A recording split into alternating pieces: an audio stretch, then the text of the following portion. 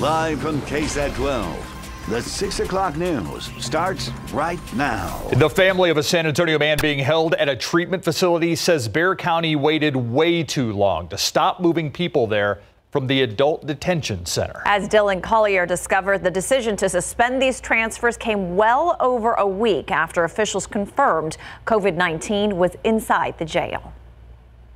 They keep bringing people from the county jail. I think it is wrong because they are putting our lives in danger. 19 year old Alexis reads the words of her father, Larry Rodriguez, a Marine Corps veteran, and for the past 114 days and counting, a resident of the county substance abuse treatment facility on Applewhite Road. I think they are so wrong for taking these risks. April 5th, Rodriguez penned this letter to his family in which he claimed an inmate brought there from the jail ate, slept, showered, and attended classes with other residents before finally being put in isolation. I feel like it's just common sense that to help stop this virus, they should do the social distancing. It's very hard because he feels like he doesn't have a voice. Larry's wife, Maria Hernandez. They should have stopped that from transferring, uh, you know, uh, residents from one facility to another as soon as they found out about this virus. The head of Bexar County Community Supervision and Corrections, which operates the facility, says the choice to temporarily prohibit people from being brought in from the jail was made Friday. Sheriff's officials said the decision actually wasn't made until yesterday. The same day, five more inmates tested positive. Regardless, the previous transfer rules remained in place even after people inside the jail had the deadly virus. The sleeping arrangements at the treatment center aren't exactly ideal when trying to stop the potential spread of COVID 19. County officials confirm up to 60 probationers sleep in a single dormitory. A perilous position for Rodriguez as he finishes his final couple weeks inside these fences. I'm concerned because I want my husband to come out of there alive, not in a body bag. Dillon Collier, KSAT 12 News. Because of concerns of COVID 19 continuing to spread in state prisons, the Texas Department of Criminal Justice announced yesterday they will temporarily not accept inmates from any county jails or other facilities. And as major cities deal with the effects of COVID 19, rural towns are starting to get hit hard as well. Yesterday, Wilson County reported its first death that was from a resident inside the Frank M. Tejeda Veterans Home. We learned this afternoon a second person who came into contact with the first victim has tested positive and is in a San Antonio hospital. The Department of State Health Services is now investigating how the coronavirus got inside that facility that has been closed off now since March 9th. The DSHS has been in investigating to see where the, where that virus originated from. Uh, we have not received any details of that. The mayor of Floresville goes on to say that so far every resident in the wing the unidentified man lived in and staff that worked around him were tested on Monday. They're hoping to expand those tests to the rest of the staff and all others living in the facility this week as well. Currently, there are 12 cases in Wilson County. Four have since recovered. New at 6 as Governor Greg Abbott begins to investigate avenues to reopen portions of the state. He says making sure companies and workers are safe to gather will be a priority. While Silicon Valley giants are working to figure out a master plan for this, a local nano company in San Marcos says it's already got a system that's a month away from startup. Ursula Pari explains its plan is to help achieve coronavirus containment. Quantum Materials in San Marcos is a nanotechnology company that already makes solutions to protect companies from counterfeiting operations. Using some of that same approach, it's now promoting QDX Health ID. It's an app to authenticate COVID 19 test results and make sure those who have the virus stay home and those who don't can return to work. It was fairly easy to adapt it to be able to be a solution for tracking um, these tests, the test results, um, and to be able to provide an immunity certificate or some, in, an electronic format that would allow people to be able to return to work. The need for authentication of test results and tracking comes after failures worldwide with problem test kits and a lack of a vaccine. The health provider logs into the app the same as the patient does They they take the record of the test kit that that was used for their testing. So it also will start to provide some of uh, data tracking which tests are turning out to be accurate and which ones aren't. QDX Health ID claims that their system would monitor patients' tests and authenticate them, even track them all the way through the period when a vaccine is administered, certifying and clearing those who can go back to work and who needs further testing. We, if we return too soon and we don't have good tracking, um, it, it, it, we could wind up in a worse situation. This is what that phone app would look like. The track and trace program could be up and running by June 1st, and its makers are now in talks with the governor's office to see if it could be adopted statewide. In the meantime, a beta trial is underway over the next month. Ursula Pari, KSAT 12 News. The very first person in San Antonio to donate plasma as part of an experimental COVID 19 treatment encouraging others to do the same tonight. David Herman, a former patient himself, says his symptoms were so mild he only found out about his diagnosis after routine tests were taken at his doctor's checkup. He knows others aren't so fortunate. After recovering, the 54 year old father of two donated his plasma, which contains COVID 19 antibodies, to be transfused into sick patients. He says the process, which already seems to have helped others, was easy. And when they put that needle in, you don't even feel it. I mean, that's the only thing you feel.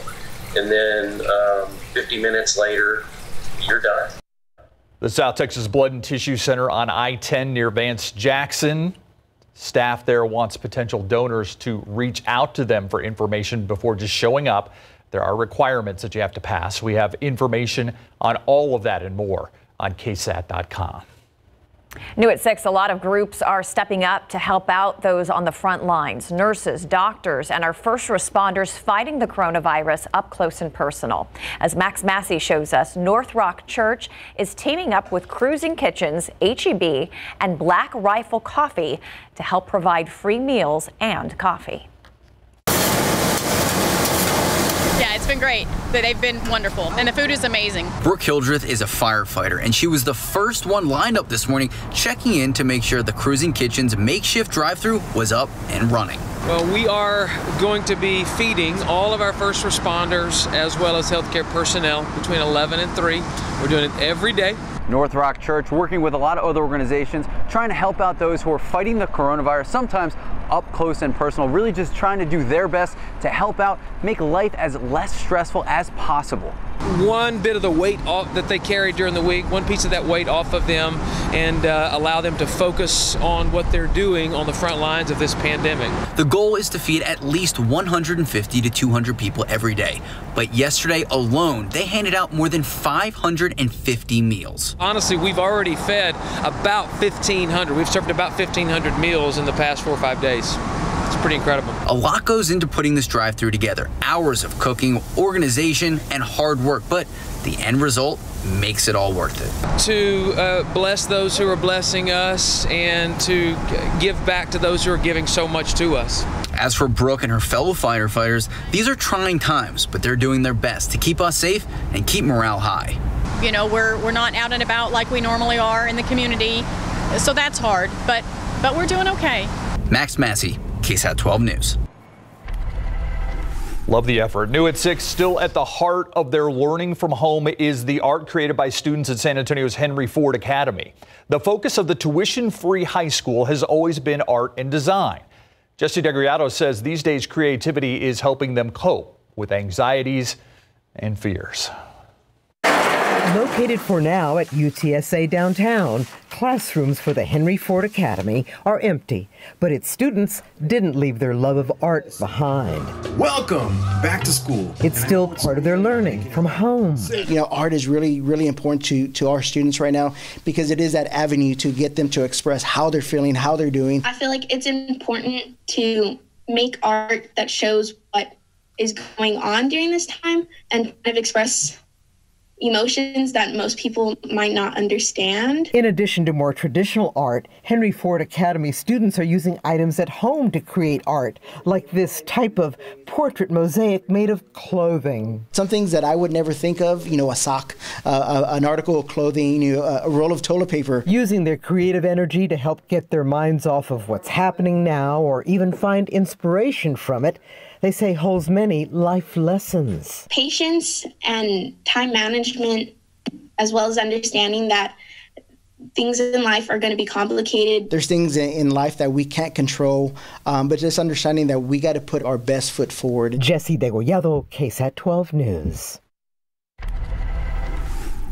Very creative. Absolutely. Let's take a live look outside with live cam 66 degrees out there. Oh, it was a chilly start to the morning. Did Yeah. you get a chance to go outside? It was nice. Yeah. Yeah, but it, yeah, you definitely needed the long sleeves. Mm-hmm. Wanted some pumpkin spice latte. Remi- reminded Really? me of November.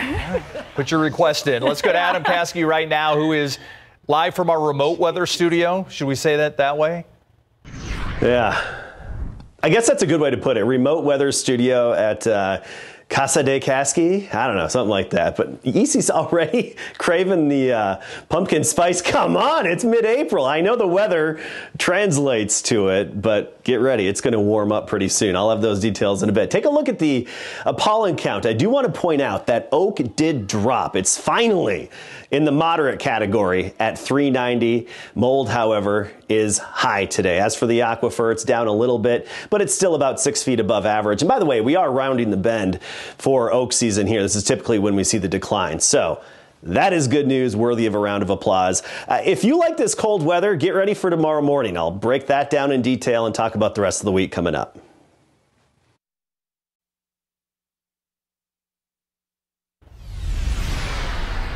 Mayor and county judge having their daily briefing on the COVID 19 situation. Let's listen in. community.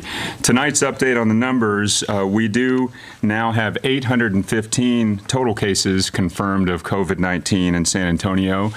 Um, pleased to say that as of tonight, 141 individuals have fully recovered from the virus, and we don't have any new deaths to report today. In the hospitals currently, we have 89 patients who are COVID-19 positive. An additional 49 people are in the hospital that are awaiting test results, and we have 54 people currently in ICU uh, that are confirmed positive for COVID-19. The hospital capacity continues to be uh, a strength for us. We have 38 folks on ventilators tonight, and that means 76% of our available ventilators are are for, are available to us.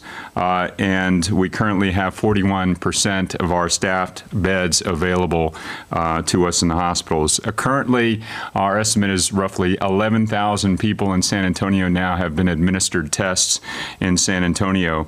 Um, I do want to remind folks that you know we talk about these numbers every night, and sometimes it's a blur. We know they're going up because testing is increasing, and we're moving along uh, through the course of this pandemic here in San Antonio. But the numbers do represent people, families, patients with um, you know children, with husbands and wives, uh, people who are grandparents, and and you know sometimes children of uh, folks in our community. And so every single person has a story. And as we think about these numbers, also think about the first responders, the healthcare professionals, and also those families that are struggling to ensure that their loved ones are well. Uh, this is so important to consider as we talk about things like social distancing, physical distancing, the measures that we put in place to make sure that our neighbors are healthy, they're safe, and we save lives. We want to thank you for all the work that you're doing uh, to help make sure that San Antonio continues to be healthy and that we save lives during the course of this COVID 19 pandemic. Judge? Yeah, thanks, Mayor. Thanks a lot. Uh, you know, it was just a, what a week ago, I guess, that we just had one inmate test positive. Uh, we now have eight positive inmates with five more tests pending. We have sheriff's officers reporting 14 uniform officers and three civilians associated with the jail are positive. And the Bexar County Facilities uh, Department has one positive case. So we, we're beginning to see the spread in the jail, and I don't think it's going to stop where it is. So we're constantly stepping up to try to do more to stem this tide of COVID cases within the jail. Uh, we've identified and isolated jail units where cases are identified. We've identified the medically at risk and who may have been exposed. Uh, we've isolated COVID patients and, and patients who are under investigation in the jail's medical infirmary. Uh, we've increased hygiene, sanitation efforts. Uh, we're consistently contact, contact tracking investigations of existing cases. And we've increased our capacity to conduct virus testing of symptomatic inmates and staff. And we're ranking up the symptom monitoring of inmates and jail staff. We hope to have in place to provide these symptomatic tests to 100% of the population by Thursday. And we're working to identify continuing need for uh, supplies with respect to uh, personal protective equipment. And we're securing sufficient uh, efforts of what we've got, but we've got to continue to bring in more. To show you kind of how we stack up, uh, in Dallas, there's 32 inmates that have been tested positive, and they have 192 people in quarantine. In Harris County, 43 have already tested positive. 97 inmates are, are pending test results, and 1,152 of the inmates are quarantined. So while our numbers are low, we expect to continue to have some issues at the jail, and we're taking all the steps that we can reasonably take uh, with respect to stemming the uh, tide of it.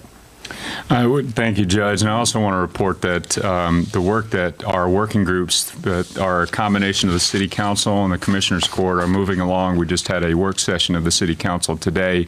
Uh, those are going quite well. We've gotten a lot of feedback uh, from the public as well as our court and our our City Council in terms of things like data reporting and so forth. So we do want to uh, we do want to encourage you to get the latest information on the on COVID-19 in our community by going to the San Antonio website at sanantonio.gov slash COVID-19. And you can get text alerts if you text COSA.gov to 55000. Uh, this is a uh, constant effort to make sure that we have uh, information going out that's timely, that allows you to make informed decisions. So one of the things that we've been looking most forward to is compiling all the data um, and looking at how this curve is going to happen in our community. The peak of the cases and also how long those cases might last so we can begin to think about opening back up. That's been a topic of conversation here in San Antonio just like it is in Texas and throughout the country. And so to shed a little bit of light on that and the studies that we now are going to see uh, is Dr. Colleen Bridger, our former Metropolitan Health Director, someone who's uh, spent a career in this kind of research and now our Assistant City Manager. Colleen, go ahead. Thank you. Thank you. Good evening, everybody. Um, yes, I do. I'm excited to talk about the, the models that we'll be using. We have been working with um, a number of different researchers and organizations, and where what, what we are excited to announce is that starting tomorrow, we will be um, posting four different models on our website, updating them as they become updated. One of those models will be um, from UTS, two of the models will be from UTSA. One of them will be from Oliver Wyman, which is an international consulting firm. And then one of them will be from the Institute for Health Metrics and Evaluation out of the University of Washington. Um, I can tell you that essentially what we're seeing, not unlike um, those of us who've watched some of the um, hurricane maps, is that there are different projections about when we're going to peak, what is the maximum number of cases we're going to see. Um, and so we're going to use this information along with a lot of other data um, to help us continue to make data driven decisions around um, how we respond to this pandemic. Um, some of the the data that we're seeing from these models estimate the peak of the pandemic here in Bexar County to happen anywhere between late April and mid May. So, you know, a couple weeks on either side, just like when we're looking at hurricane maps, it may wobble a little bit to the east or a little bit to the west. That's kind of what we're tracking with this model as well. Um, the other data point that we're really interested in from these models is um, what are they projecting the total number of cases to be for uh, San Antonio and Bexar County. And right now, there's there's a pretty big uh, gap between the smallest estimate, which is 1,100, and the largest estimate, which is 10,000 plus. So that I think will will narrow in a little bit more as we get more and more data that we can feed into all of these different models and better understand what's um, what to expect. And so, Colleen, let me just tell you. All right, that's the latest briefing from the uh, County Judge Nelson Wolff, Mayor Ron Nirenberg, and you heard Dr. Colleen Bridger, who used to be the head of Metro Health, is now an assistant city manager. And it was interesting. Uh, we're at 815 total cases right now. No new deaths to report, which has been great.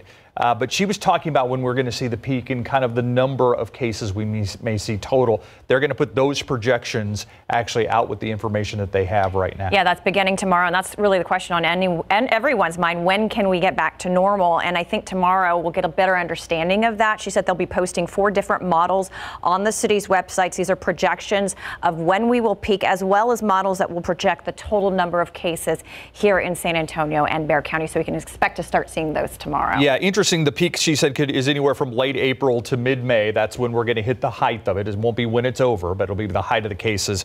And the total cases could be, I mean, wide ranging Yeah. from 1,100 to 10,000 plus. Yeah. So we'll see those numbers get narrowed down. She described it as kind of like a hurricane, trying to d- the track of a hurricane. And another major issue we will continue to follow is, of course, uh, the news out of the Bexar County Jail with eight now um, positive inmates testing there. And uh, obviously, that's going to be something that we're going to continue to follow as this progresses. a major concern Yeah. for sure. All right, let's go to Adam Caskey right now, who is uh, actually we're going to go to sports. We're going to talk about a NASCAR Greg. driver who they didn't wait long to make a decision on his future. Now, less than 48 hours, and of course, this all has to do with what he had to say during a virtual race and why Chip Ganassi Racing Team has made that decision to fire that driver today. When we come back, more information about that and one of the biggest sporting events in the world called off coming up. These are the guys.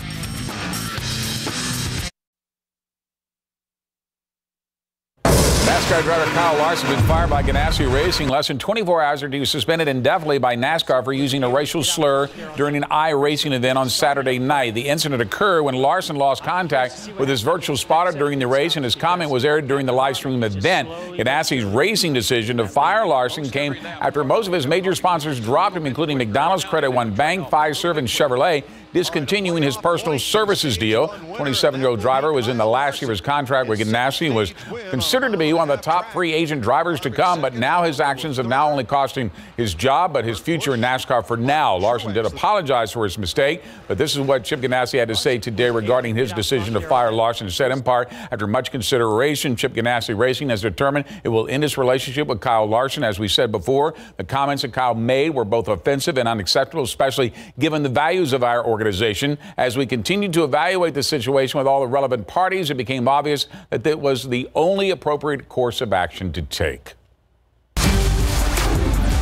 Meet the new head coach of the Johnson Jaguars football team. He's Mark Soto, who also carries the title of athletic coordinator at the school. Mark replaces Ron Ritteman, who opened up Johnson High School 12 years ago as their first football coach, and last month decided to move on to Alamo Heights to become the Mules' new athletic director and head coach. Soto has a long history of football in San Antonio and the surrounding area, starting first with his playing days as a linebacker for Judson High School in 1988 to 1990, where he helped win a state championship in 88 after their opponent had to forfeit the win in the state title game. He would go on to become the Rockets defensive coordinator and assistant head coach before moving on to become the head coach of the San Marcos Rattlers in 2012. It was there he led the Rattlers to the district title in 2017 with a 10 2 finish, all the while helping lead the drive to build a new stadium and student activity center. Now he takes over one of the most high profile jobs in all of high school football while paying tribute to the legacy left behind by Coach Ritteman. Coach Ritterman has, has left a sustainable program. He's done a great job uh, building that program up, and uh, you know I'm just going to go in there and, and use what's great and, and, and enhance what, what needs a little bit of work on. So we're going to bring energy to the place, uh, make sure that we're attacking on defense, spreading the ball on offense, and being sound on uh, special teams. Not only does the Northeast School District have a new head coach, but they also have a new executive athletic director. He's Kelly Parker, who served under Karen Funk as a athletic director in the Northeast School District until he was promoted last night. In a vote by the school district board of trustees, Karen is retiring at the end of this school year. The Tour de France has become the latest large sporting event to fall victim to the coronavirus. The world's most famous cycling event has been called off and is unclear at this time if it will be able to happen this year at all. But what is clear is that the three-week race event will not be starting on July, should say June the 27th. And the city of Nice is scheduled. That decision was all but made by French President Emmanuel Macron, who told the nation in a speech on Monday that all public events with large crowds have been canceled until at least mid-July. The last time the tour was not held was back in 1946 when the nation was still emerging from World War II. So as we see other events canceled, now there's maybe some hope of some events starting up. We have more about that tonight coming up on the night beats. All right. Thanks, Greg. We'll be right back. All right, time now for our coronavirus Q&A. It's a segment that we do every day at this time and joining us as she does every Tuesday is Dr. Ruth Berggren with the Long School of Medicine at UT Health San Antonio. First of all, thank you again for uh, joining us today. And um, Dr. Berggren, I want to start by asking you, we've heard a lot about this antibody testing, folks who may have been carriers or and perhaps didn't know it. Are you seeing some of this antibody testing happening here in San Antonio? And if so, what is it exactly and what is that process like? So an antibody test is means a blood test, and that blood test looks for proteins in your blood that say whether your immune system has recognized a particular pathogen, in this case, SARS-CoV-2, the virus that causes COVID-19. So there is now an FDA approved antibody test for COVID-19, and that is awesome because we will be able to without a whole lot of fuss test people to see if they've already been exposed to the virus and if they have this these antibodies in their blood then we can infer they've already been infected. What we don't know and what research will show us and i think fairly soon is whether the presence of those antibodies means that you're immune to getting infected or not. This is a really valuable tool because it means we'll have some handle on how many people in our community have already been infected by this virus and it will tell us so much about what we can expect going forward as far as whether we're doing it yet or not, that's on hold, but we really think that's coming in the next week or two. And we're excited to get the test and we're excited to begin applying it to see what we can learn about our community. What would you say to people out there who are thinking that maybe they did go through this, maybe they, maybe they did, maybe they do have the antibodies and they're thinking about donating plasma? What would you say to them? So there is an that's a bright spot. There is an opportunity if you have recovered from COVID 19, um, you can donate your blood. They'll take your plasma at our uh, Blood and Tissue Center, South Texas Blood and Tissue Center, and they will, of course, verify whether that's the case, and they will um, possibly be able to give your plasma to somebody who's actively sick with the disease. And what we're hoping is that that will help that person recover. A lot of research needs to be done to see if that will actually work, but there are many, many precedents throughout history where convalescent plasma can be very beneficial to people who are actively suffering from the disease. Dr. Berggren, we've been talking for weeks, it seems like forever, about social distancing and the importance of that. Any indications that it's working here in San Antonio? Can you, can you talk to us a little bit about what you're seeing?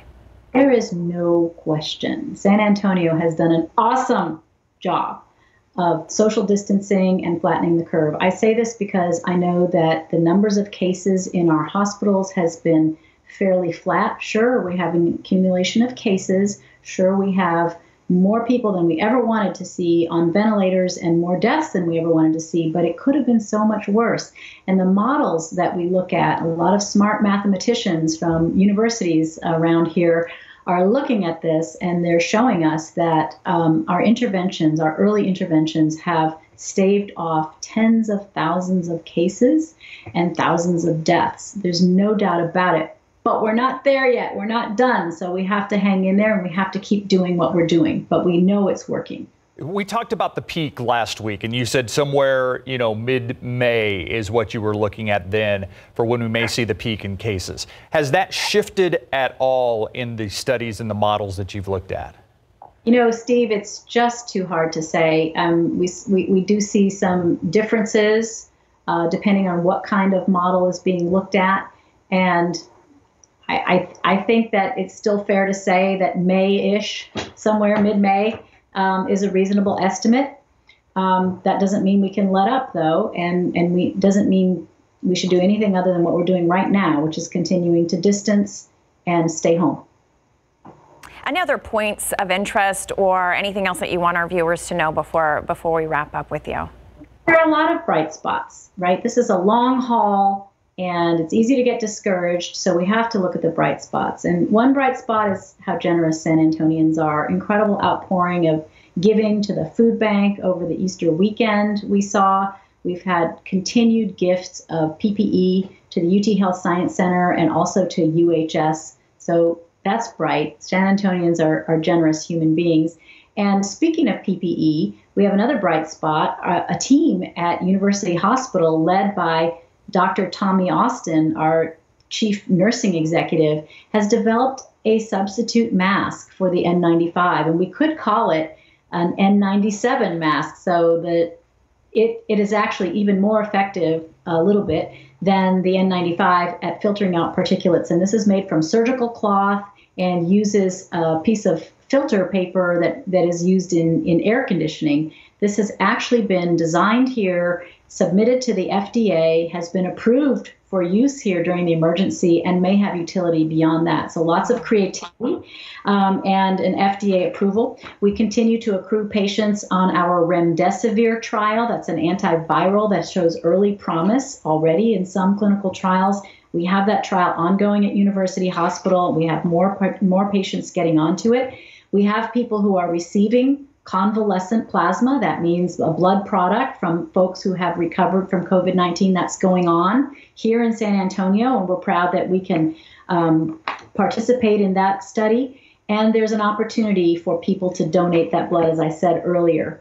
And finally, we're anticipating the arrival of the FDA approved antibody test that will let us know what's going on. And I even have another piece of good news. You know, we've heard so much about jails across the country and across the world and how they are places that are very vulnerable and our own jails experiencing an outbreak. But we're getting rapid turnaround of testing there which is good news and different than what's been happening with so much of our testing so far. The rapid turnaround in the testing is letting us identify who's sick so that we can isolate them and protect other people. So I think I've given you at least six things that are bright spots on our horizon and hope that this encourages everybody to keep up the good work. Believe me, with all that's going on, we'll take all the good news you can give us, Dr. Berger, and I appreciate it. And we'll see you tonight uh, during the 9 o'clock news, about 9.13, 9.15. But thank you for joining us as you do every Tuesday. See you then. We'll be right back.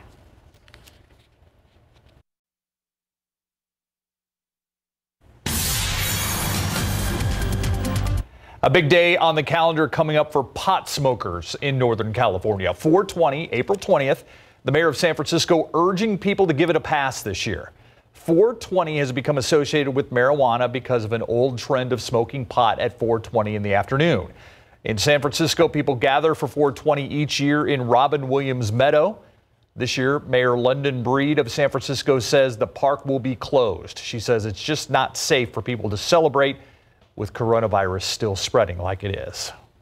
All right, let's head on over to Adam Caskey, who is uh, actually we'll take a live shot of uh, downtown San Antonio before we head over to Adam Caskey, where it is a beautiful day out there today. Very nice out. Mm-hmm. Yeah, gorgeous day today. We started off in the 40s, then we made it into the 60s this afternoon. So unseasonably cool. Feels fall like out there. And get this, tonight we're going to have some 30s in the hill country. I'll break it down for you in detail in a few minutes. Also, one of our weather headlines, and remaining unseasonably cool for the rest of the week and even the first part of the weekend.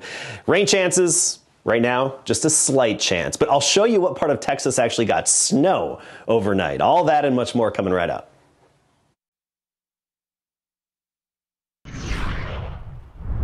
All right. Hope everybody enjoyed the nice chilly day that we had today. I know I did. it was my kind of weather. Yeah, it was great. Yeah. Yeah, I mean, especially when you see what other people are dealing with, snow and things like that. You know, hey, I put on a long sleeve shirt. Adam. Huh. Yeah, you know, actually, I was out for a long walk today with the kids. They were on their bikes, and I was out with my wife, and she had a hoodie sweatshirt on cinched around her face. Meanwhile, I'm strolling along in my shorts and short sleeves. Yes. You know, it's. Uh, every it's a little different for everybody. I get it. I get it. But overall, it's been very comfortable out there despite feeling fall like. I mean, just look at the numbers. We started the day at 47. It's good 11 degrees below average. And we only made it to 68 for the afternoon high temperature when the average is 80. And right now, those clouds are starting to clear out. You can see that on City Cam here. The clouds rolled in and now they're moving out and they're breaking up. So that's basically ripping off the blanket for the nighttime. So temperatures are going to drop off quickly. 66 degrees right now, dew point of 42 degrees, and a relative humidity of 42%. Taking a look at the readings, for the most part, in the 60s. 69 in Castroville right now. Canyon Lake, you're at 62. Kerrville already down to 59. And look what happens to the temperatures as we go through the night and into tomorrow morning. These numbers are going to drop off quickly. In the hill country, we're looking at mid to upper 30s for the vast majority of the hill country. You get around to San Antonio, 43 degrees for the low temperature, and then a little closer to 50, but that's down near Laredo. By the afternoon tomorrow, very similar to today, we'll tack on just a couple of degrees, right around 70 degrees here in town, and in the hill country, mid to upper 60s for highs. All right, take a look at the high temperatures here as we go through the rest of the week. No big changes through the work week and to start the weekend. Then we get to Sunday and especially into the early part of next week, and that's when we see the heat really return back up to near 90 degrees for high temperatures. All right, here's a look at the visible satellite imagery. And I mentioned that little cloud deck that moved in during the morning hours, and it really kept us from warming up beyond the 60s around town here. But now those clouds are eroding and they're dissipating basically right on schedule. So we're not going to have that natural insulator tonight. All right, here's the wider view, and I really want to point out the extra cloud cover up in the panhandle. That's where we had the snow. I pointed it out last night as it was happening, and then again early this morning, you see on the radar imagery the areas of blue. That's snow in mid-April. And not just snow falling, but actually snow accumulating. From Lubbock to Amarillo, some pockets of the panhandle there picked up about two inches of snow measured by some of their weather watchers. So pretty impressive for uh, this time of year. And obviously, it was a lot cooler up there as well for our friends in the panhandle with that snow. As for weather activity, our overall pattern's pretty quiet. Looking at the rain chances, 0% tomorrow, 0% on Thursday because we're looking at a lot of sunshine. Then we get into Friday, 20%. Uh, Saturday, about a 30%. So we're not looking at anything widespread or anything real promising in terms of rain. This evening, clearing sky, unseasonably cool. Temperatures already down in the upper 40s by midnight. Not much of a breeze out there. And then tomorrow, we start the day at 43 here in San Antonio. Crisp outside, very fall like. Then sunny and right near 70 into the afternoon. Looking ahead, I mentioned those rain chances pretty slim. Temperatures in the basically in the low to mid 70s the rest of this work week. And then into the weekend and next week, we'll see the temperatures climb up a bit, uh, back up to near 90 degrees. Now, as I've been doing this weather, I've had a couple of friends um, crawling, you can come here, crawling around on their hands and knees. It's okay. You come here. You want to say hi, Josie? You want to say hi? They've been, I don't know if you could hear them bouncing yes. around, but crawling around. Oh, hi, Josie. Here, tell, here, no, come here. Tell us about your accessories. Tell us about your accessories. No, no, no. Oh, okay, she's shy. Yeah. But I well, I, I, I caught oh, you just got what? You got to show them. Oh, adorable. But I'll tour. I need oh. to work on the work. Yeah, she loves her panda hat. All righty. Thanks, helpers. Callie um, adjusts the camera shot for me and does the focus as well. Wow. We appreciate it. Thank you so much, ladies. And provides the space for the studio. She does it all. Thank you, Adam. In case you missed it, it's coming up next.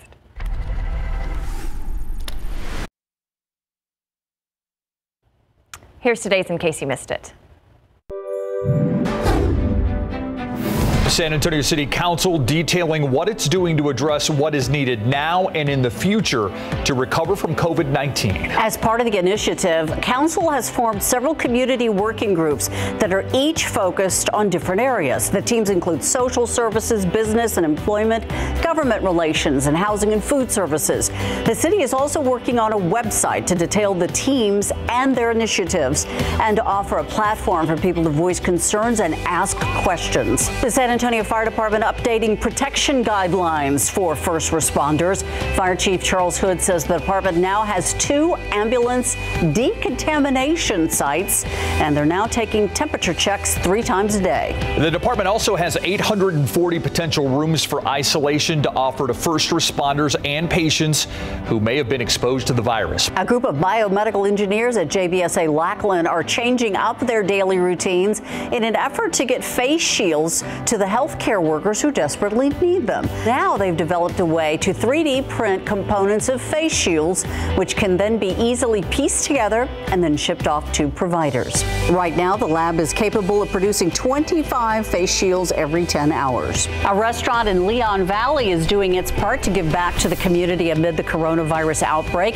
With the help of workers and customers at Rita's Mexican Cocina, the business has started to pay it forward to first responders working on the front front lines by dropping off meals throughout the week. We're just here to supply whatever we can do, and so far it's been very well.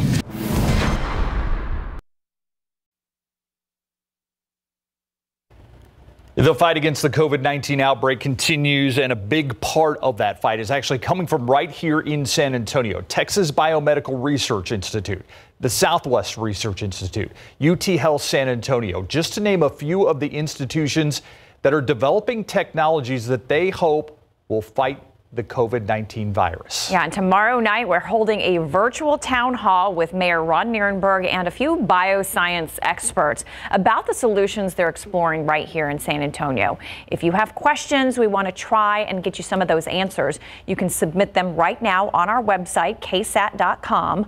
Our panel of experts will be answering your questions live during the news at 6.